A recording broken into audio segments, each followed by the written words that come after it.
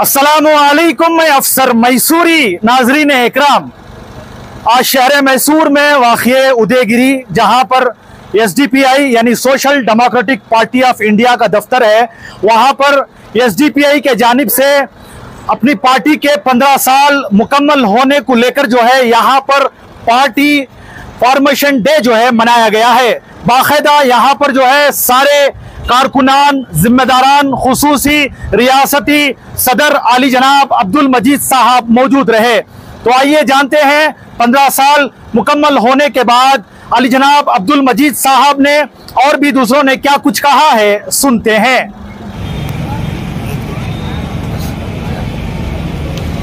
गुजारिश करता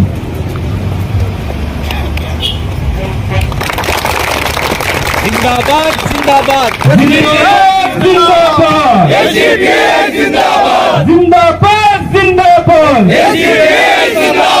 एसडीपीआई का नारा है हर मजलूम हमारा है एसडीपीआई का नारा है हर मजलूम हमारा है आवाज़ दो जिंदाबाद जिंदाबाद जिंदाबाद जिंदाबाद जिंदाबाद जिंदाबाद भूख से आज़ादी भूख से आज़ादी भूख से आज़ादी एसडीपीआई का नाम रहेगा एसडीपीआई जिंदाबाद एसडीपीआई जिंदाबाद आगे जिंदाबाद जिंदाबाद एसडीपीआई जिंदाबाद शाबाश भूख से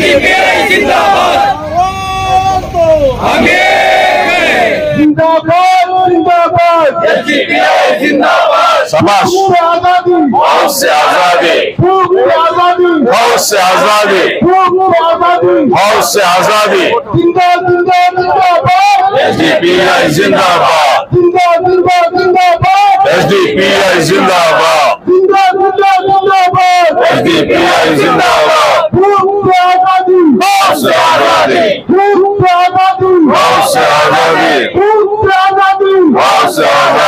जिंदाबाद जिंदाबाद एसडीपीआई जिंदाबाद जिंदाबाद जिंदाबाद एसडीपीआई जिंदाबाद जिंदाबाद जिंदाबाद एसडीपीआई जिंदाबाद आज हम तमाम लोग एक फक्र महसूस करना है क्योंकि पंद्रह साल से एक बेहतरीन सियासत हम लोग किए हैं। और हम लोग अपने आप को पाक रखे हैं। क्योंकि नॉर्मली सियासत को ये कहा जाता है, सियासत गंदी है, सियासत बुरी चीज़ है, सियासत में करप्शन है। अल्हम्दुलिल्लाह Social Democratic Party of India का हर एक लीडर हर एक लीडर कैडर फक्र महसूस करना ये तमाम चीज़ों से एसडीपी का हर कैडर, हर लीडर पाक है। हम सियासत को गंदा नहीं समझते, हम सियासत को इबादत समझते हैं। तो Social Democratic Party of India पंद्रह साल से लोगों का हर हुकूक के लिए लड़ते आया है, खिदमत करते आया है। कभी भी हम अपने बारे में नहीं सोचे। सियासत में उहदा लेना या सियासत में उहदा लेकर पावर लेकर, उसका बुनियाद पर ज़िंदगी करना, ये हम लोग कभी भी नहीं सोचे। कभी भी हम अवाम का सोचे हैं, अवाम का सियासत किए आज का हालात आप बेहतर जानते हैं। एक फैजिस्ट हुकूमत सेंट्रल में है। फैजिज्म ही उनका एजेंडा है। नफरत का सियासत ही उनका एजेंडा है। कौन सी दुनिया में हम लोग ज़िंदगी कर रहे हैं, आपको मालूम है। मध्य प्रदेश में फ्रिज में कुछ गोश्त रखा गया। फ्रिज में गोश्त, वो मालूम नहीं है, वो टेस्ट नहीं किया, उसका बावजूद भी वो बीफ का है बोलकर 11 घरों को डेमोलिश किया गया। ऐसी एक इंडिया में हम जी लेकर है ऐसे हुकूमत, कोई आवाज़ नहीं है, कोई पुकार नहीं है। फ्रिज में गोश है। पता नहीं है, लैब में टेस्ट नहीं हुआ, क्यों किसका गोश है? कई का गोश है। ग्यारह लोगों को बुलडोजर लेके बुलडोज किया गया। ये नफरत का सियासत इस देश में चल रहा है। एक तो बीजेपी, वो है ही ऐसा। दूसरे पार्टी आप 11 ग्यारह घर बुलडोजर में डिमोलिश हुआ यूपी में डिमोलिश हुआ, इसके बारे में कोई ऑपोजिशन पार्टी बहुत बड़ा कदम उठाया नहीं है। एक तो नफरत का सियासत करने का, नफरत छोड़ के दूसरा कुछ नहीं है। दूसरा एजेंडा ही नहीं है। दूसरा, हम सब मिलकर चाहकर आया हुआ कांग्रेस का हुकूमत कर्नाटक में। क्या हालात है? जो वादा किया थे जो इलेक्शन का पहले जो वादा किए थे, किधर गया वो वादा? टू बी रिजर्वेशन रिस्टोर करने का वादा किए थे ये लोग। बीफ बैन को हटाने का वादा किए थे ये लोग। हिजाब बैन को हटाने का वादा किया था ये लोग। और कांतराज आयोग का कमीशन को इंप्लीमेंटेशन करने का वादा किया था ये लोग। माइनॉरिटीज को टेन थाउज़ेंड करोड़ का बजट देने का वादा किए थे ये लोग। तहफुज देने का वादा किए थे लोग। उसके बावजूद भी आज क्या हालत है? साल, एक साल हो गया। जो भी इनका ही वादे कौन लोग तोड़ रहे हैं? कोई पूछने वाला नहीं। जो माइनॉरिटीज जो दलित, आदिवासी बैकवर्ड क्लासेस जो भी वोट करके इनको हुकूमत में लाया, उनके लिए कुछ नहीं है।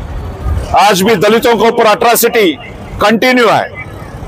और अलग अलग माइनॉरिटीज के ऊपर जो इसका, जो जुल्म ज़्यादा ही वो लेकर है आपको मालूम है परसों देखे आप मंगलूर में, इनका जो बीजेपी का जो विन हुआ एमपी बोलकर, हर मस्जिद के पास जाकर ये लोग नारा बुलाकर गलत गलत अंदाज से नारा बोलकर आ रहे हैं। उनका खिलाफ एक स्ट्रिक्ट कदम उठाने में हमारे कांग्रेस का हुकूमत फेल्यूर है। ये कांग्रेस का प्रॉब्लम ये है, ये बीजेपी से डरता है। बीजेपी का आईटी सेल से, आरएसएस का आईटी सेल से डरता है। इनका जो भी डिसीज़न जो होता है, वो डर डर का बुनियाद पर होता है। ये डर का खौफ आरएसएस का, बीजेपी का बीजेपी का आईटी सेल का खौफ के आधार पर ये लोग डिसीज़न लेंगे तो हमारे को जस्टिस कैसा मिलेगा? ये हालात दूसरा Social Democratic Party of India पंद्रह साल में एक पाक सियासत करते आए हैं। रिश्वत का सियासत हम लोग नहीं करे नफरत का सियासत हम लोग नहीं करे। हम लोग अवाम की असल मुद्दे को उठाकर उनका फ़िक्र लेकर हम काम कर लेकर हैं। हर हमेशा अव्वल सब पे काम किए हैं। मैं बताने का ज़रूरत नहीं। कोरोना का टाइम में सारे सियासतदान सोले करते घर पे अपने आप को पाबंदी बढ़कर र- करे थे। उस टाइम में एसटीपी का लीडर और कैडर फ़ील्ड में रख के काम किया है। वो फ़ूड किट डिस्ट्रीब्यूशन करने का काम हो, वो बेड दिलाने का काम हो, या वो मतफून करने का काम हो अव्वल सब पे पूरा इंडिया में हम लोग काम किए। बाढ़ आया, पानी आया, उस टाइम में एसडीपी का कैडर अव्वल सब पे काम किया। कोई भी एक इश्यू पे कोई मजलूमों के साथ Social Democratic Party of India खड़ा है, आइंदा भी हम लोग करेंगे। मैं आज के मौके पर तमाम जितने भी हमारे कैडर्स लीडर्स खड़े हैं, आप हिम्मत नहीं हारना है। आप हिम्मत नहीं हारना है, सियासत में हर दिन बदलाव आता है। ये पार्लियामेंट इलेक्शन का रिज़ल्ट आप देखेंगे तो ये रिज़ल्ट में बहुत सारे सबक हम लोग को मिलना, मिलता है। आप क्या सोचे थे? आंध्र प्रदेश का चंद्रबाबू नायडू जी का जो party TDP last assembly election में खत्म ही हुआ था। हम सोचे थे कि पार्टी खत्म हो गया। चंद्रबाबू नायडू जी को जेल में डाला गया अरेस्ट करके घसीट ले लेके गया पुलिस ये बार क्या हुआ? पूरे मेजॉरिटी के साथ 138 सीट के साथ असेंबली में भी आए। 16 सीट को पार्लियामेंट में भी आया। यह है सियासत। वाईएसआर कहाँ था? कैसा अग्रेसिव में गया था? वाईएसआर कुछ 12 सीट को आके पहुँच गया 11 सीट शायद। तो कहाँ कहाँ के अभी दो सीट रहने वाला जेडीएस, कुमार स्वामी, सेंट्रल का मिनिस्टर। हिंदुस्तान आवाम पार्टी का जो मांझी एक सीट जीते उन्होंने आज सेंट्रल का मिनिस्टर। ऐसा नहीं समझना कि सियासत खत्म हो गया। मायूस नहीं होना एक इलेक्शन का रिज़ल्ट से, दो इलेक्शन रिज़ल्ट से। सियासत में कभी भी मौका है। हम लोग हिम्मत के साथ कॉन्फिडेंस के साथ हमारा खिदमत, हमारा जो जद्दोजहद करते जाना है। रिज़ल्ट आएगा, नहीं आएगा, वो अलग बात है। हम लोग जद्दोजहद करने आया करते करते जाना है।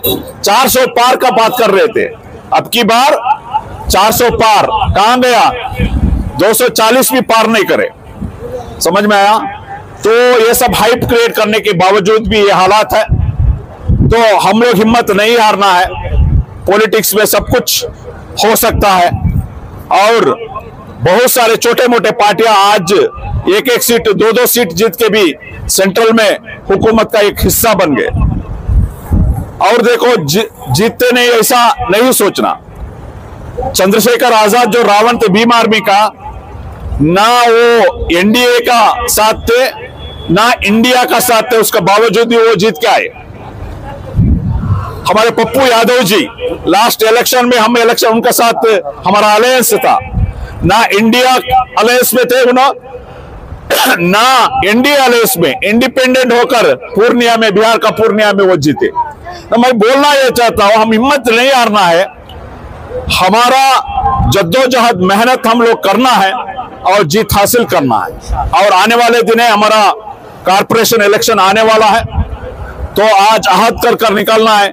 हर वार्ड में हम लोग हमारा कारपोरेशन इलेक्शन लड़ेंगे और हम लोग इंशाल्लाह जीतेंगे और जीत के जीत के हम खिदमत करेंगे। जीतने का मकसद ये नहीं है कि कौन, कोई घर बन रहा है तो उसे इंजीनियर को बेच को स्टाफ को बेच को, बीस हज़ार दे, पच्चीस हज़ार दे करने का। कोई शादी महल बन रहा है, उसे कुछ रुकावट कर को एक पचास हज़ार मंग लेना है, एक पानी का नल का देना है, बोले तो भी पैसा लेना है। इसके लिए नहीं, हम लोग अवाम की असल खिदमत करने के लिए, एक खादिम होकर काम कर करने के लिए हमारे कारपोरेटर बनेंगे। हमारा कारपोरेटर खादिम बनकर काम करेंगे। आपका हर मसाइल में आपका साथ रहेंगे। आज मैसूर का अवाम को मैं ये पैगाम देता हूँ आज के फॉर्मेशन डे में। एस डी पी एसडीपीआई पंद्रह साल से आपका खिदमत करते आया है। हम तीन बार एमएलए इलेक्शन में हारे। हम हिम्मत नहीं हारे, खिदमत नहीं छोड़े। हम आगे खिदमत करते ही रहेंगे।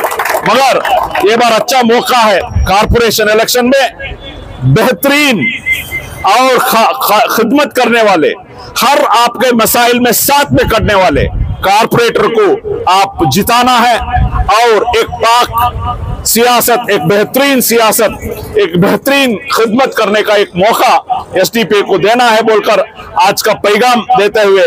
और एक बार तमाम लोगों को, एसडीपी पंद्रह साल खत्म होकर सोलह साल को जो फॉर्मेशन डे को हम मना रहे हैं, और एक बार सभी लोगों को मुबारकबाद देते हुए देते हुए मैं मेरा बात को खत्म करता हूँ। जय एस डी पी आई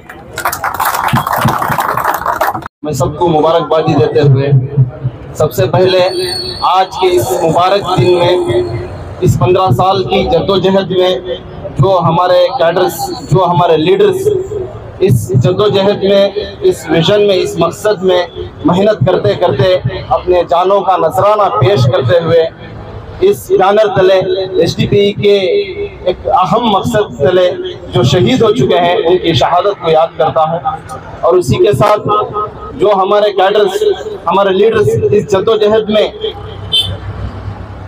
फैशिस्ट हुकूमत के साजिश। साजिश के तहत उनके ऊपर झूठे इल्ज़ाम लगाकर जो जेलों में डाले हुए हैं आज भी हमारे बहुत सारे लीडर्स कैडर्स जेलों में हैं। मैं उनकी कुर्बानी को भी याद याद करता हूँ। हम सबको हमारे शहीद भाइयों की और हमारे जो भाई जेलों में हैं उनकी कुर्बानियों को याद करते हुए उनकी कुर्बानी को रायगा ना जाने देते हुए हम इस मकसद में हमें भी हर तरह की कुर्बानी देने के लिए आने वाले दिनों में हमें तैयार रहना है। चाहे उनकी तरह अगर हमें शहादत का नजराना, अपनी जान का नजराना पेश करना पड़े तो उसके लिए भी हमें तैयार रहना है। अगर उनकी तरह हमें जेलों को जाने के लिए ऐसी नौबत आ जाए तो हमें उसके लिए भी इस पार्टी के मकसद के लिए, मुल्क व मिलत के अच्छाई के लिए, इस मुल्क की बेहतरी के लिए ये कुर्बानी भी देने के लिए हमें तैयार रहना है। तो इसी के साथ आज के इस मुबारक दिन में आए हुए सबसे पहले हमारे डिस्ट्रिक्ट प्रेसिडेंट जनाब रफत खान साहब का मैं दिल की गहराइयों से शुक्रिया अदा करता हूँ। इसी के साथ कर्नाटका स्टेट प्रेसिडेंट जनाब अब्दुल मजीद साहब का भी मैं दिल की गहराइयों से शुक्रिया अदा करता हूँ। कर्नाटका स्टेट वाइस प्रेसिडेंट जनाब प्रोफेसर पुट्टंजा सर का भी मैं दिल की गहराइयों से शुक्रिया अदा करता हूँ। और कर्नाटका स्टेट कमेटी मेंबर जनाब अमजद खान साहब का भी मैं दिल से गहराइयों से शुक्रिया अदा करता हूँ। हमारे डिस्ट्रिक्ट वाइस प्रेसिडेंट, माजी कॉरपोरेटर जनाब यस्वामी स्वामी साहब का भी मैं दिल की गहराइयों से शुक्रिया अदा करता हूँ। हमारे जनरल सेक्रेटरी सफ़ी भाई और अक्रम मौलाना का भी मैं शुक्रिया अदा करता हूँ। और इसी के साथ हमारे डिस्ट्रिक्ट सेक्रेटरी जावेद भाई का भी मैं शुक्रिया अदा करता हूँ और हमारे डिस्ट्रिक्ट ट्रेजरर जनाब फिरदौस साहब का भी मैं शुक्रिया अदा करता हूँ और विम के हमारे नेशनल कोऑर्डिनेटर जनाब फैरोजुल्ला शरीफ का भी मैं शुक्रिया अदा करता हूँ एस डी टी यू के डिस्ट्रिक्ट प्रेसिडेंट जनाब अल्ताफ साहब का भी शुक्रिया अदा करता हूँ और D W C member assembly leaders block leaders और आए हुए तमाम कैडर्स का लीडर्स का, सबका और पुलिस डिपार्टमेंट का मीडिया का, सबका भी मैं दिल की गहरा शुक्रिया अदा करता हूँ। शुक्रिया और इसी तरह आप हमारी इस न्यूज़ चैनल को आगे ज़्यादा से ज़्यादा शेयर करें और आप लोगों की क्या राय है? सारे रियासत कर्नाटक नहीं, पूरे मुल्क भर में एसडीपीआई की जानिब से आज एक फ्लैग होस्टिंग डे बनाया गया है। उसको लेकर आप हमें अपनी राय कमेंट्स बॉक्स में ज़रूर पेश करें। तब तक के लिए अस्सलाम वालेकुम व रहमतुल्लाहि व बरकातुहू